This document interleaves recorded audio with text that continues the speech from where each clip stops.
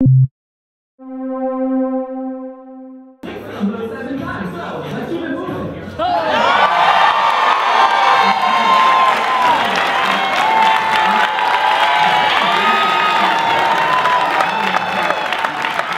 got the eight seed.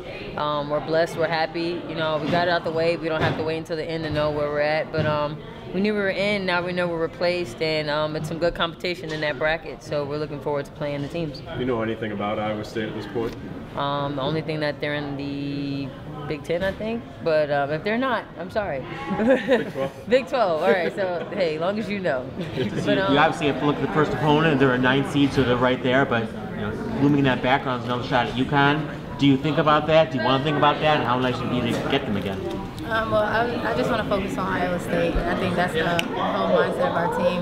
Um, we have to take it one game at a time. And, you know, Iowa State's not a bad team. They've had some good wins. So um, it's, it's going to be a great matchup. And, you know, if we get to UConn, we get to them. And, you know, we'll focus on them when we get there. I mentioned the seeding. Uh, it seemed a little bit low based on your rankings most of the year long. Number eight, it's like 29 32. You're going right to, UConn's backyard. How did you feel about when you saw your name, you know, in that slot as far as seeding goes? Well, you never know. I, I think that that's why we didn't start watching tape a week and a half ago when we started seeing where they had us seated in and who we were possibly playing. So I, I you know, to be quite honest, I, I don't know the exact formula on how they put you in certain seeds. I just know that we have an opponent in front of us that, that we have to and we're ready for. And I'm just happy that we're still playing this time of year because that's the goal to be playing in the postseason. And you know, anybody you play this time of year, wherever you see it, it's going to be a tough opponent, and we have one in front of us. We're going to compete, and our kids play very hard, and, and they.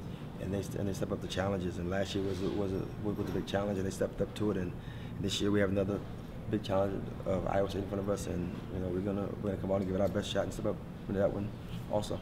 Coach, can you think of two better seniors to guide this year's team than Brittney and Alexis? Absolutely not. I mean they- they've they've been solid, and and, and when they've played well, um, we've played well, and they've played well in big games, and we fully expect them to come out and play well. But but at the end of the day, it's a, it's a, it's about all of us. It's, it's about our team. It's about our prep. It's about being there healthy, being there rested, and, and your best players have to have to play great in these um, settings, and we're looking forward to those two um, performing.